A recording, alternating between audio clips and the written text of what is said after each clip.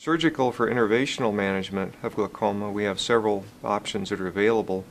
The old option called filtration surgery has been out for well over 100 years, uh, and it has its own complications. But there are some new advances that are out that are very exciting. One an example is canaloplasty, which is more a non-invasive type of procedure that's very effective in lowering eye pressure, and this is something that we have very good three-year data on right now. Another one that's just being uh, in process and I think just approved by the FDA is called the iStent, which is a very small internal shunt that can be placed in the eye to lower pressure.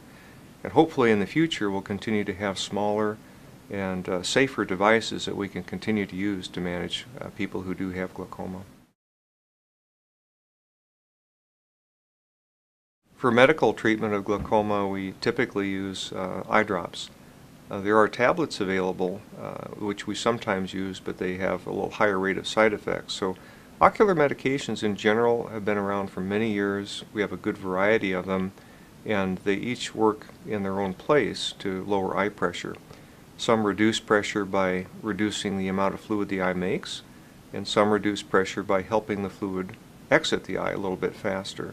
And sometimes they need to be used in combination, but more often than not, uh, eye medications can be very effective in controlling eye pressure. It is important, like any chronic medication, to continue to use them on a regular basis. And so that's something I feel is important to uh, let the physician know if a patient's having difficulty with cost, managing the drops or getting them in, or they're having side effects. We do need to know that.